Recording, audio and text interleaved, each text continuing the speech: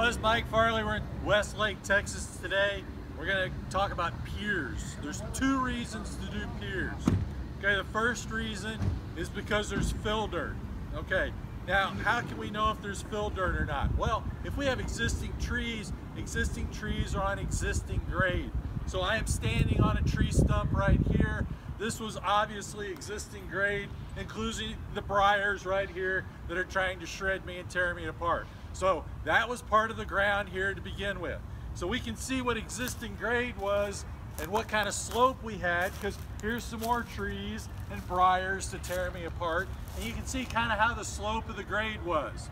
So you can follow that towards the house and you can look at it and say, wait, the house is a lot higher. Okay, why is the house higher? Well, because they brought dirt in.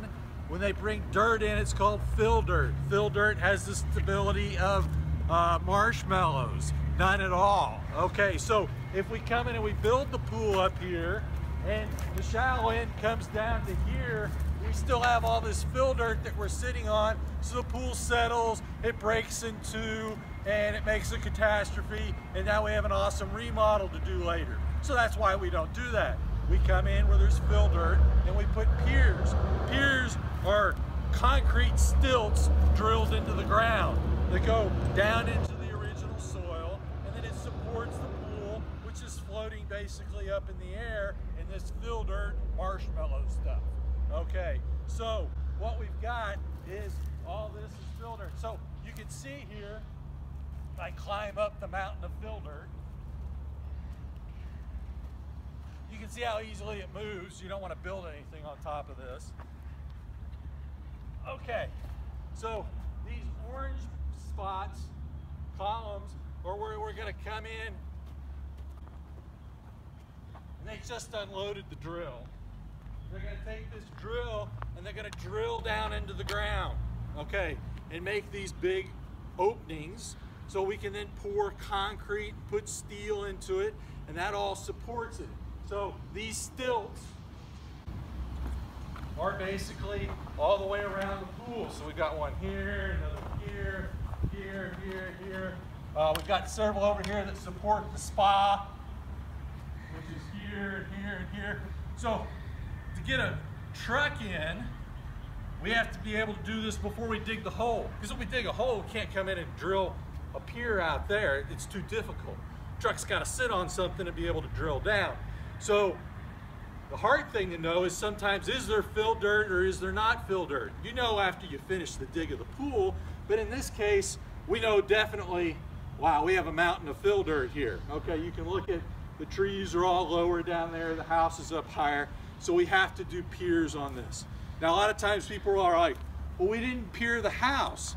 Well, as you go up the hillside, maybe the house is on original grade and so it doesn't have a problem. But when we push into the backyard, they lifted it up and so we're in fill dirt. So house might not be piered and we may have to pier the pool still. So uh, that's the two one of the two reasons to pier a pool. The other is because the soil is so nasty and it moves up and down, we have to do what's called piers and void boxes. And we'll show you what that looks like too on a different job site down in Cedar Hill where we have the nastiest soil in the United States uh, as far as clay from expansion to contraction. Uh, on this particular project from wet to dry it moves nine inches, okay, which is huge if you're trying to build something on top of that. In fact, in soils class in college, it says put cows there, only cows, maybe sheep too, just livestock. Okay, so uh, they're gonna come back and we'll show you how this is gonna be drilled and poured here in a little bit. Okay. So, uh, one question that was just asked, which is an excellent question, are these all the same size? So this is a 12 inch wide drill. Uh, the bigger it is, the more friction the pier creates, therefore uh, more resistance to keep it in place. So because we don't have bad soil here and we just need to drill down until we get into the original grade, a 12 inch pier works fine. Sometimes we do 18s, uh, sometimes they have to have what's called a bell on the bottom. They're all different. Uh, the engineer comes up with the recommendations on the size and the type that we're gonna use. And when we hit water, we have to do what's called casing it. Uh, so the cost goes up dramatically. But here on this particular hillside, we're not near water, we shouldn't have an issue.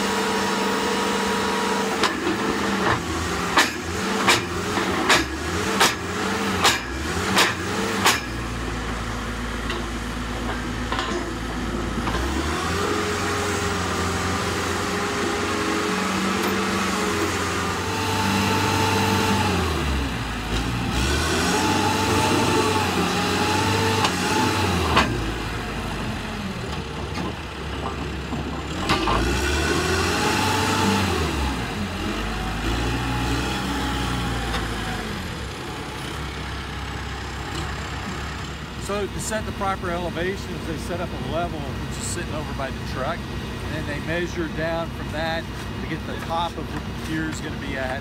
That'll be where the pool sits on top. So we dig a hole, all you'll see are the tops of these piers because they're based on the level down uh, from the, the measurements that they're taking.